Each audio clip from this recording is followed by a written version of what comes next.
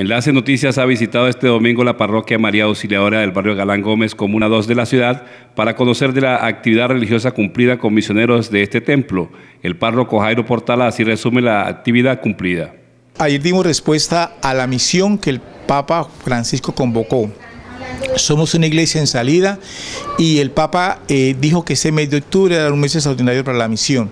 Nuestra parroquia María Auxiliadora organizó la misión, capacitó a los misioneros, elaboró el material a desarrollar y luego anoche de manera simultánea en 10 grupos en los distintos sectores de la parroquia se realizó la misión siguiendo la leche divina, siguiendo el texto de saqueo, hoy conviene que me quede en tu casa y la casa eh, de todos es el mundo, es el medio ambiente para cuidarlo. Esa fue la tarea que anoche realizamos. Este vocero de los misioneros de la parroquia explica la labor de evangelización adelantada la noche del sábado. Anoche fue como el abrebocas de, ese, de este mes de las misiones.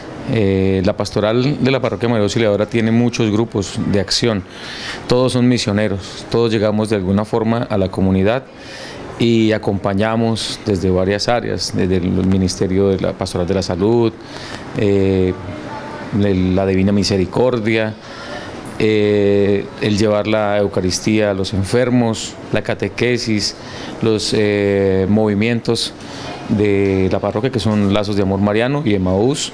Esta comunidad religiosa tiene previstas nuevas actividades para cumplir con la misión encomendada por el Papa Francisco a todos los católicos.